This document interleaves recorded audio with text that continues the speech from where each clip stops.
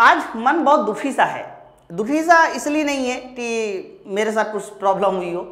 दुखी सा इसलिए है कि आज मैंने अपनी कम्युनिटी पोल पर ये सब दो चार क्वेश्चन देखे और क्वेश्चन को देखने के बाद मुझे ऐसा लगा कि बताओ, इतना सब पढ़ाने के बावजूद भी बच्चे क्या गलती कर रहे हैं। विश्वास मानिए क्लास में अभी क्योंकि रेलवे का एग्ज़ाम नहीं है, थोड़ा कम बच्चे आते बहुत ज़्यादा स्टूडेंट नहीं आते, क्यों? क्योंकि मैं थ्योरी पढ़ाता हूँ, है ना? और और टीचर क्या करते हैं कि यूट्यूब पर क्वेश्चन सॉल्व कराते हैं, बच्चे ठीक ठाक आ जाते हैं। लेकिन मैं अभी ए का रेलवे के एग्ज़ाम का बेस बना रहा हूँ ताकि आपका साइंस का पोर्सन अच्छा हो सके। ठीक है, अच्छी बात है। मैंने दो क्वेश्चन देखे, उनमें से एक क्वेश्चन ये और एक और क्वेश्चन है, मैंने दूसरा क्वेश्चन भी आपके सामने ले लिया। ये दोनों क्वेश्चन मैंने अपनी क्लासरूम में सॉल्व कराया।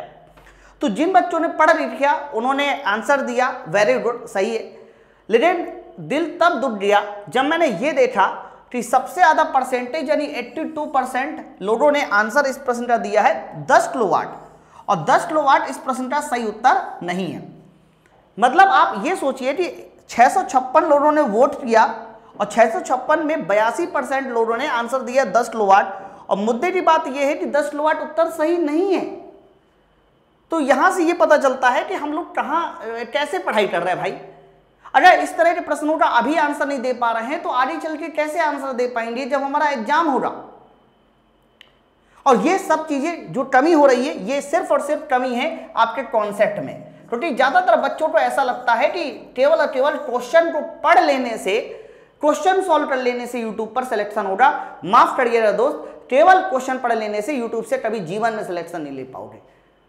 मैं आपको बता दूँ सिलेक्शन का एक तरीका भी होता है कि पहले आप अपना बिल्डिंग का बेस मज़बूत करो ना, तभी तो बिल्डिंग खड़ी करोगे। पहले आप साइंस का कॉन्सेप्ट तो क्लियर करो, उसके बाद ही तो तुम सिलेक्शन की सोच सकते हो। इसलिए मैंने यूट्यूब पर हमेशा जो कॉन्सेप्ट पढ़ाया, फ़िलहाल हम लोग इस क्वेश्चन का पहले सही आंसर की ओर देख लेते हैं कि सही आंसर क्या है। जलप्रपात में देखिए, इन्होंने साफ़ साफ़ बोला है और ये सबसे ज़्यादा पूछे जाने वाले सवालों में से होता है।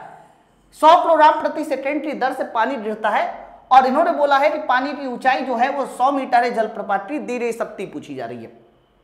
तो आपको पता है कि रेलवे में एक फॉर्मूला है जो सबसे ज़्यादा पूछा जाता है, उस फॉर्मूले का नाम है एम जी एच बटे टी द्रव्यमान का मान इन्होंने 100 किलोग्राम दिया है जी टी वैल्यू 10 होती है 100 मीटर की ऊंचाई से गिराया जा रहा है, और देखिए, प्रति सेकेंड लिखा है मेरे दोस्त तो समय का मान हो जाएगा एक सेकेंड।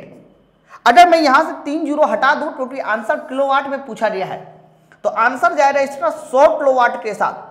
और जबकि देखिए 100 किलोवाट देने वाले सिर्फ़ और सिर्फ़ सात परसेंट लोड है जिन्होंने 100 किलोवाट दिया। है। मतलब सिर्फ़ 7 परसेंट लोड ने उत्तर सही है और 82 परसेंट लोड ने गलत दिया अब सही बात है इन्हीं सात परसेंट लोगों का ही तो सिलेक्शन होता है जिन्होंने सही दिया। और आगे देखते हैं हम लोग अरे अभी आगे की और भी बातें हैं ये वाला क्वेश्चन भी देखिए। आप ये वाला क्वेश्चन को गौर से देखिए ये वाला क्वेश्चन भी इसका ज़्यादातर लोडों ने अब देखो इसका 81 परसेंट लोड ऐसे हैं। 81 परसेंट लोड ऐसे हैं जिन्होंने आंसर दिया है बच्चा मेरे 200 जूल। जबकि 200 जूल भी इस प्रश्न का उत्तर गलत है। इस प्रश्न का जो सही उत्तर है, वो है सिर्फ़ और सिर्फ़ 300 जूल और 300 जूल दिया है सिर्फ़ 5 परसेंट लोगों ने। ये देखिए, यहाँ तो और बुरा हाल है। और इसमें देखिए 8000 वोट पड़े हैं।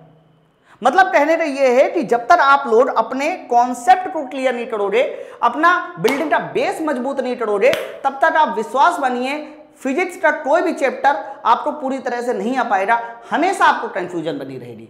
सवाल को मैं पढ़ के देखूँ स्टोवी लगा देता हूँ। जब किसी स्प्रिंग में दो सेंटीमीटर तक खींचा जाता है तो ऊर्जा 100 जूल संचित हो जाती है। यानी जब तुमने उसको 200 सेंटीमीटर खींचा तो ऊर्जा आ रही, देखिए 100 जूल। है ना? 100 जूल। और फिर ये बोला जा रहा है कि दो सेंटीमीटर और खींच दिया जाए। तो टोटल कितना हो गया? चार सेंटीमीटर। जब टोटल चार सेंटीमीटर हो गया तो संचित ऊर्जा में वृद्धि पूछी जा रही है। वृद्धि। तो ज़्यादातर ने सोचा कि ये दुगना कर दिया जाए। इसे भी सौ तो दो, दुगना करके दो सौ कर दो और दो सौ मार दिए सबने आंसर। भैया, जैसा आप सोचते हो, वैसा नहीं होता साइंस। साइंस जब तक पढ़ोगे नहीं, तब तक जय माता दी, इसे आंसर नहीं सही होगा। तुम्हें यह पता होना चाहिए स्प्रिंग की जो ऊर्जा होती है, वो डायरेक्टली प्रोपोर्शनल होती है एक्स स्क्वायर क्यों? क्योंकि फॉर्मूला होता है हाफ़ के इंटू एक्स स्क्वायर का। होता है ना? तो अब ये बताओ x तुम्हारा दो से चार हुआ, यानी x डबल हुआ। तो हमें ऊर्जा एक्स स्क्वायर यानी फोर टाइम्स करना पड़ेगा, दो का स्क्वायर चार। यानी 400 जूल ऊर्जा हो जाएगी। ध्यान से सुनना। अभी भी प्रश्न में गहराई है। प्रश्न ये कह रहा था कि खींचा जाए तो संचित ऊर्जा में वृद्धि, संचित ऊर्जा में वृद्धि। तो बात बताइए, अगर पहले ऊर्जा 100 जूल थी और बाद में 400 हो गई तो वृद्धि कितनी की हुई? तो मेरे दोस्त, वृद्धि 300 जूल की होगी, ये सवाल का सही उत्तर है। और अगर आप इतने आसान आसान प्रश्नों के आंसर नहीं दे पा रहे दोस्त तो आप कैसे कह रहे हो कि आपकी यूट्यूब पर पढ़ाई अच्छी चल रही है? सोच के देखिए कि आप सब लोग कहाँ पर कैसे पढ़ाई कर रहे हो। मैं फिर से बता दूँ, मेरी क्लास शाम के सात बजे चलती है जिसको मैं शाम के सात से आठ सिर्फ़ और सिर्फ़ बेसिक बताता हूँ। बेसिक तो मतलब आपको पूरा साइंस यानी फिजिक्स केमिस्ट्री बायोलॉजी की थ्योरी बताता हूँ। इसे पढ़ लीजिए। क्वेश्चन तो पूरे यूट्यूब में कोई भी इधर उधर के टीचर सॉल्व करा दे लेकिन थ्योरी कोई पढ़ा दे, ऐसा नहीं है यूट्यूब पर और लगातार थ्योरी पढ़ा दे। यूट्यूब पर थ्योरी पढ़ाने के लिए हिम्मत चाहिए होती है, उसके अलावा पेशेंस चाहिए होता है। मैं कह रहा हूँ शाम के सात से आठ पढ़ लीजिए पाठशाला रेलवे एग्ज़ाम में।